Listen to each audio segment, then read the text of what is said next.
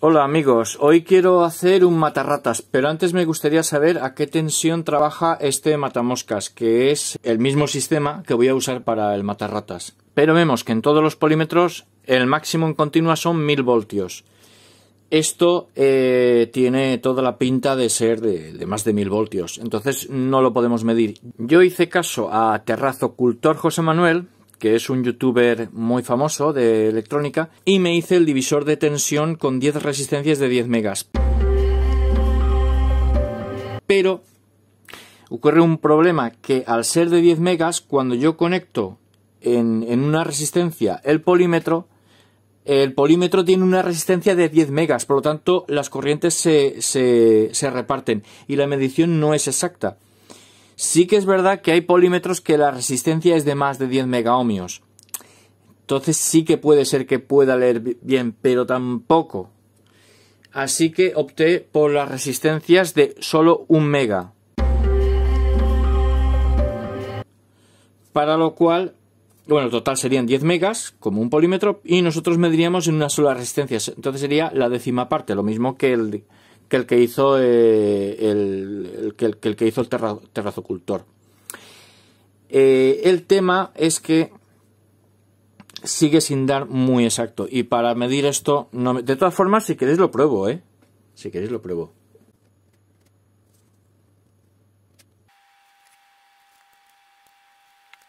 Vamos a proceder. Pongo el polímetro en 1000 voltios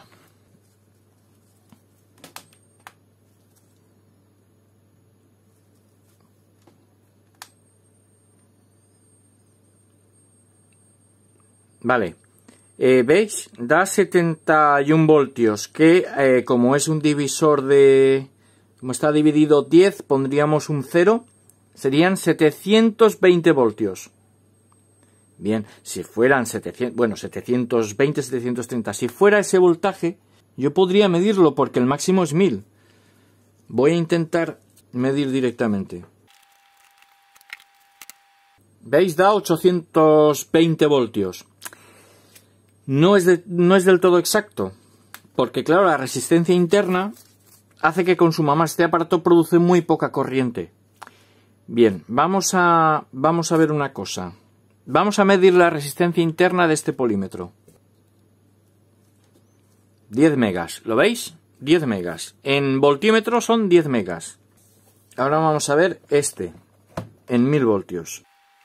10 megas también. Bien, lo que se me ha ocurrido para poderlo medir es poner los dos voltímetros en 1000 voltios en serie. Así podemos medir hasta 2000 voltios. Colocamos el positivo en el positivo de este polímetro, del rojo. El negativo de este polímetro al positivo de este. Esta pinza.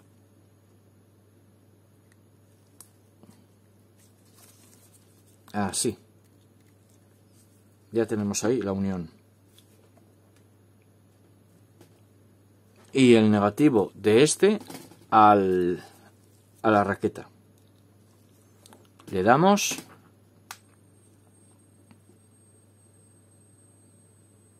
¿Veis? Me mide mucho más al ser más resistencia. Son eh, 450 y 450 son 900 voltios. ¿Vale? 900 voltios. Antes de empezar el vídeo, muchos os preguntaréis por qué llevo estos guantes en algunos vídeos. Los guantes los uso, es que hay quien me lo ha preguntado ya. Los guantes los uso para evitar que me dé descargas eléctricas cuando estoy manejando tensiones superiores a los 60 voltios para evitar que me, que me dé corriente y también y también para no alterar ciertas mediciones porque el cuerpo humano tiene una resistencia eléctrica entonces para evitar o sea, para esos dos casos, para evitar electrocutarme y para evitar alterar mediciones. Bueno, como os he dicho antes, el circuito lo he copiado de Terrazocultor. Os lo dejaré en la descripción. Eh, yo le he añadido algunos componentes más porque yo lo quería alimentar con 12 voltios. Entonces he puesto un regulador. Bueno, os voy a explicar. Él en su el vídeo que os voy a dejar él lo explica muy bien cómo funciona y yo lo he copiado de él tal cual y le he añadido algunas cositas para que me funcione como yo quiero. En la entrada le puedo yo le voy a poner, yo le voy a poner 12 voltios. ¿vale? Le podemos poner hasta 30 de entrada. Pero claro, el regulador sí que hay que ponerle disipador, porque hay una caída de tensión importante y son 145 miliamperios, ¿vale? Entonces le ponemos el condensador de 330 nanofaradios y a la salida el de 100 nanofaradios. Luego le he puesto dos diodos para que me haga una caída suficiente para que aquí haya 3,7 voltios. Le he puesto un diodo LED y una resistencia de 680 ohmios para saber que el circuito me está funcionando. Luego viene ya el circuito que he copiado de Terrazo Ocultor, que esto es un ladrón de julios que nos hace de oscilador y por lo tanto nos, nos induce una corriente alterna. Luego, cuando construya el circuito, lo comprobaremos con el osciloscopio. El transformador es un transformador de 606 a 220. Os enseño el transformador, ¿cuál es? Usamos como entrada la de 606. Los dos 6 son los azules, el 0 es el amarillo. Y la salida la usamos la de 220, que son los dos rojos.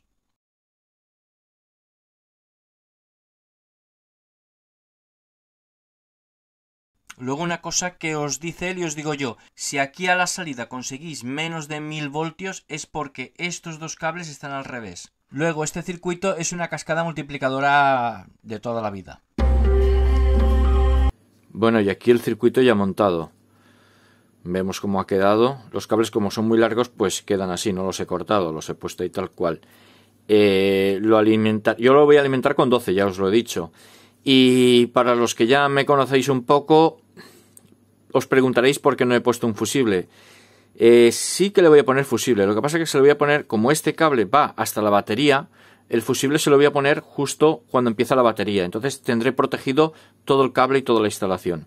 El regulador L7805 le he puesto disipador porque como le voy a poner 12 voltios, eh, la caída de tensión va a ser importante y, y, se va a calentar. No es lo mismo que el TIP 31C que eh, lo usamos para oscilar y no, no, se calienta mucho. Así que lo primero que nos encontramos son los dos pequeños condensadores en el regulador, luego los dos diodos para que la tensión me baje a 3,7, luego el, el, diodo indicador de que está funcionando con su resistencia y el tip 31C para que oscile. Luego de ahí los cables al transformador y del transformador eh, bueno, eh, vemos los diodos que, he puesto no caben en los agujeros de la placa, los he soldado por la parte de abajo. Sus condensadores para multiplicar la tensión y por último el de 22 nanofaradios a la salida. Vamos a... ah, la lista de componentes lo tenéis en la descripción y cualquier duda, cualquier problema lo respondo en, los comentarios. Eh, vamos a ponerlo en marcha esto. Creo que no hace falta que diga que es muy peligroso tocar el circuito con las manos porque las tensiones son muy altas las que se generan después del transformador.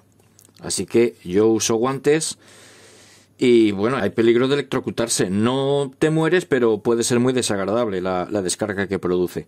Bueno, vamos a darle... Vamos a darle tensión a esto. Vamos a darle tensión a esto. Ahí estamos. Se ilumina, por lo tanto está funcionando. Tenemos a la entrada los 12 voltios. En la salida tenemos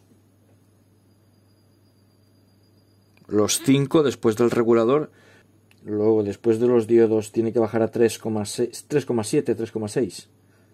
Y esa es la, la, tensión a la que trabaja el, el oscilador. Vamos a, a darle la vuelta.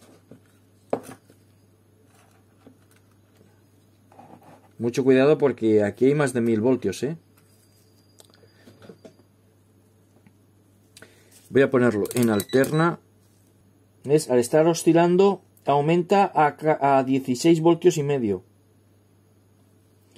Eso lo hace el oscilador. Aumenta, es un ladrón de julios, aumenta. Bien, y de esos 16, y de esos 16, el transformador, corriente alterna, nos aumenta a 220. Bueno, luego un multiplicador. Y bueno, ahí no podemos medir porque por el problema que hemos tenido antes con la raqueta que me daba... A ver, vamos a ver.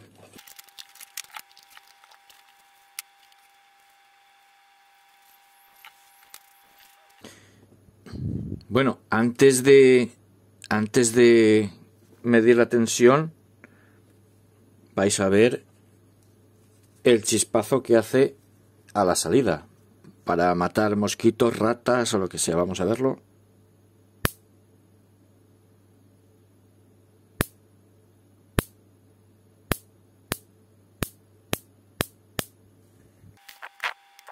Se mide en continua, conectamos los dos polímetros.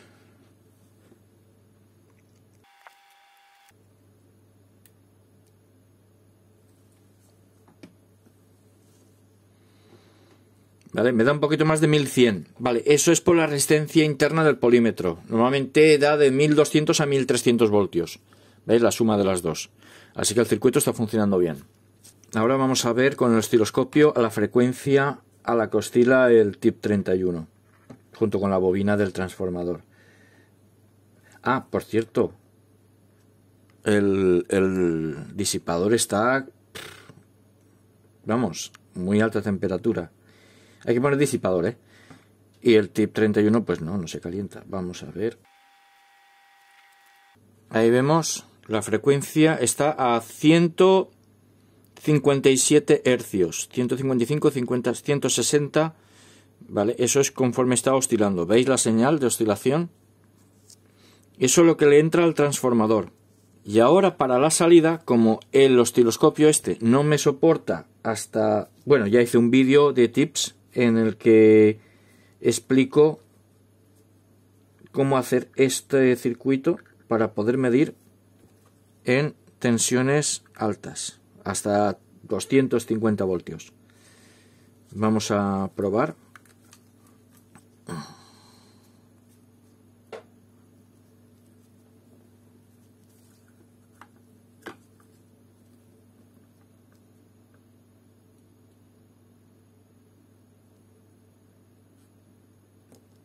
A ver si puedo dejarlo fijo. Ahí está. 128, 130 hercios. Más o menos. 137, 150. Sí, más o menos lo mismo que entra, sale. Luego, cuando el circuito lo desconectemos, se apaga el LED. Pero el condensador se queda cargado. Así que esto creemos que ya está el circuito inactivo y al estar el condensador cargado nos puede dar un buen susto. Hay que, hay que descargarlo. ¿Eh? Ya está.